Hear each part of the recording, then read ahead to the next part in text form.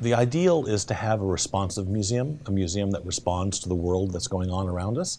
And we can do that especially with exhibitions because there you can take a thesis and drive it home and build programming around it that ties into the curriculum of many professors on campus. It also has to be of interest and significant to the students' lives um, that we that we interface with, and, and we also are a community museum. So for all of those reasons, our programs aim to be engaging intellectually, but also uh, contribute to a positive dialogue about change in the world.